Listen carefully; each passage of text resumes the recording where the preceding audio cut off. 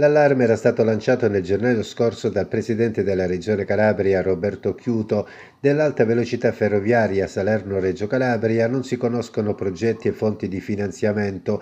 In una lettera al presidente del Consiglio Mario Draghi, il governatore aveva messo nero su bianco i suoi timori.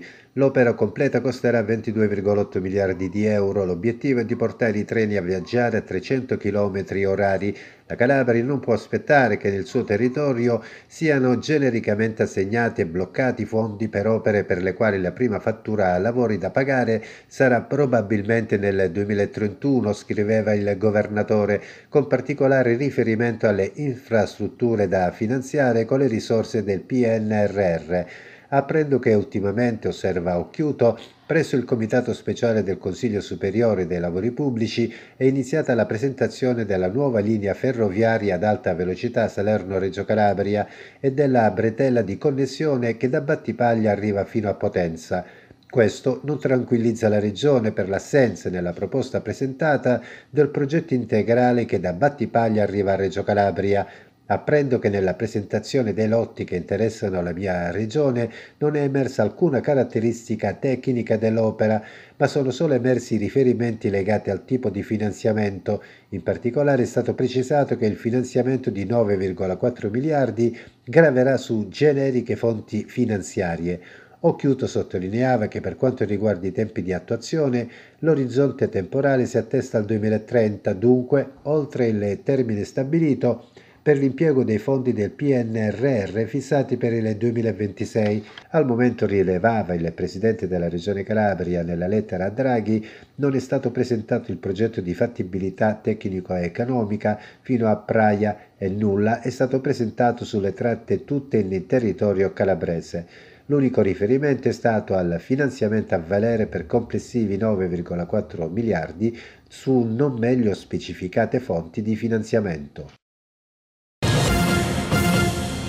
Sono 2063 i nuovi contagi da Covid in Calabria nelle ultime 24 ore, lasso di tempo in cui si sono registrate altre 6 vittime, 2491 dall'inizio della pandemia. Il tasso di positività scende lievemente passando dalla 22,33 al 20,19%, in calo nel saldo tra ingressi ed uscite i ricoverati in area medica meno 6, mentre cresce di 1 quelli in terapia intensiva.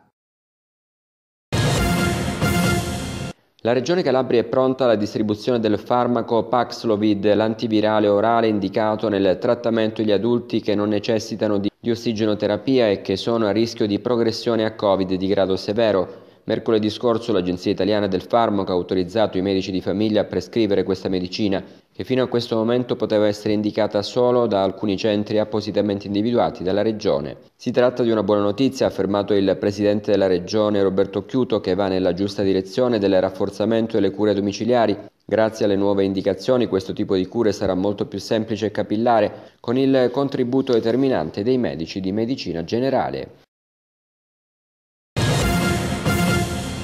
Migliorare le condizioni igieniche e di sicurezza e di lavoro dei pescatori calabresi, nonché la qualità e la salubrità dei prodotti ittici. È questo l'obiettivo del bando FEAMP in relazione alla misura 1.32 Salute e Sicurezza. Abbiamo stanziato 150.000 euro in questo bando che è della misura 1.32, sono mh, per ora state selezionate le prime sei, ci sono altre eh, aziende in attesa, stanzieremo altre risorse per fare lo scorrimento della graduatoria. Credo che eh, avremo nelle prossime settimane, autorizzati dall'autorità di gestione del settore pesca, la DG Pesca Nazionale, avremo buone notizie anche per, chi, per gli altri che si trovano nella graduatoria, per cui credo che riusciremo ad attuare lo scorrimento. Non sarà facile né i risultati saranno raggiunti in tempi brevi, però c'è da registrare la forte presa di posizione del Presidente Occhiuto per quanto riguarda la salute del mare calabrese. L'ordinanza che ha firmato per lo smaltimento dei fanghi dagli impianti di depurazione nella conferma, un problema atavico che fu affrontato nel 2006 dalla Giunta Loiero per un breve periodo, ci sorprende che qualche luminare se ne sia accorto solo oggi. Lo afferma il presidente di Alleanza Ecologica Diego Tommasi. Da solo, prosegue Tommasi, questo provvedimento però non basta, va bene la pulizia dei fiumi che sfociano a mare, ma occorre una strategia complessiva. Secondo noi il sistema depurativo è carente, soprattutto nelle aree interne della Calabria, Pertanto si rende necessario un intervento di bonifica dei bacini idrografici opportunamente individuati e delimitati.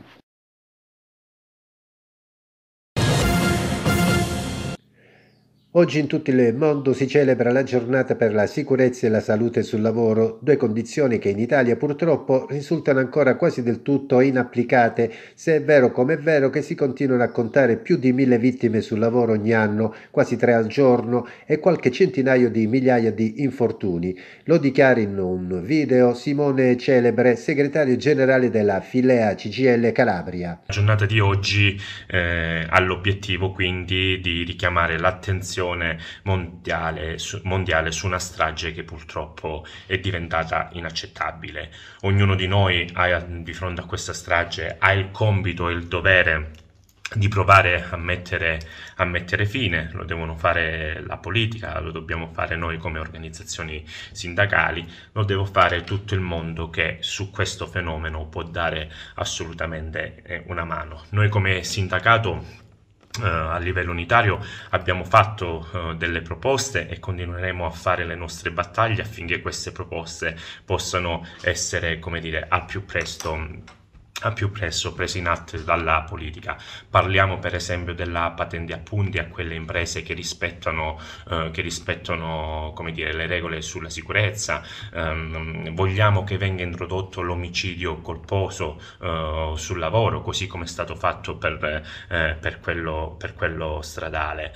Mm, condizioni queste necessarie affinché veramente questa giornata eh, possa essere ricordata nel futuro come una giornata non di morte, ma una giornata per ripartire e ripartire tutti in sicurezza.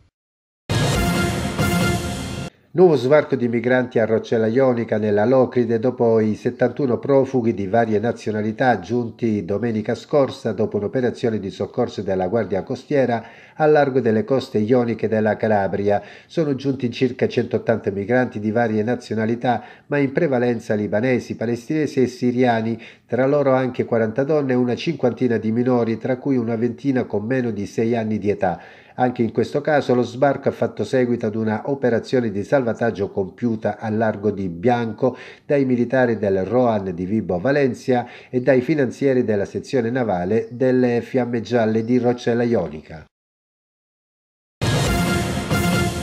La Procura della Repubblica ha aperto un'indagine sul caso della donna di 79 anni, Rosa Macchione, nativa di Scandale, deceduta al pronto soccorso dell'ospedale San Giovanni di Dio di Crotone mentre era in attesa di essere visitata. La donna era giunta al nosocomio con un'ambulanza che l'aveva prelevata a Scandale dopo che si era sentita male. La stessa ambulanza sarebbe arrivata con notevole ritardo, stando a quanto ha dichiarato il marito della donna ai carabinieri. Il sostituto procuratore della Repubblica di Crotone, Andrea Corvino, ha disposto l'autopsia sul corpo della donna per accertare le cause del decesso.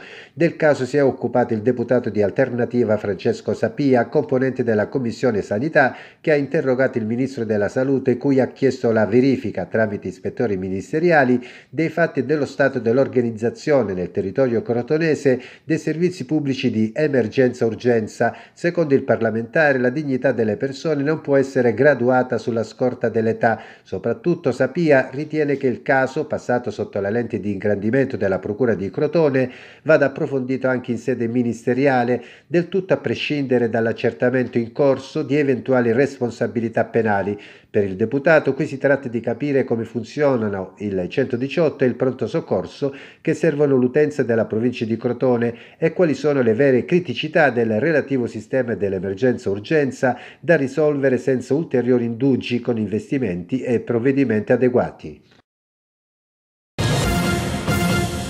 Nei giorni scorsi un nuovo appuntamento nell'ambito delle attività di orientamento poste in essere dall'Istituto Tecnico Tecnologico Bruno Chimeri di Catanzaro all'interno della rassegna Tecnologia e Progresso. Martedì 26 aprile gli studenti hanno avuto l'opportunità di incontrare in videoconferenza dalla California il professore Mauro Ferrari, pioniere nel settore delle tecnologie biomediche, nano e microscopiche.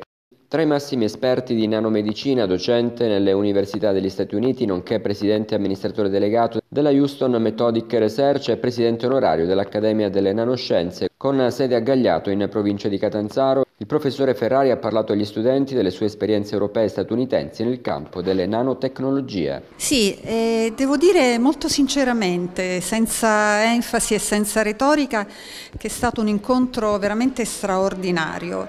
Eh, sono stata onorata di fare un po' da moderatrice per questo incontro, eh, visto lo spessore di questa personalità davvero eccelsa. Eh, sono stata felice, felice perché ci saranno sicuramente delle ripercussioni positive per i nostri studenti sono adolescenti, quindi in via di formazione e la vita e i consigli, e gli studi che ha fatto Mauro Ferrari possono senz'altro essere una fonte di ispirazione eh, per i nostri ragazzi.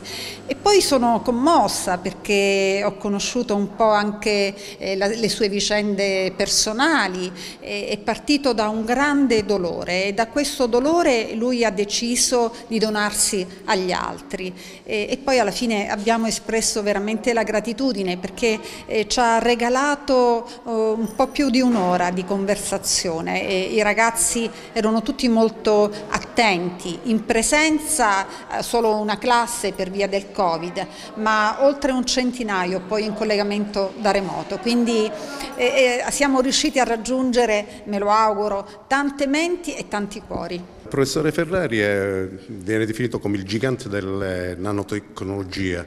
Nanotecnologie, tanto per intenderci, per capire, ci riferiamo a delle, dei materiali che hanno delle dimensioni nanometriche, cioè sono 1 per 10 alla meno 9 metri. Quindi stiamo parlando di sostanze piccolissime che potrebbero avere una grandissima valenza nel campo delle nel campo medico, nel campo farmacologico, nella cura dei tumori per esempio.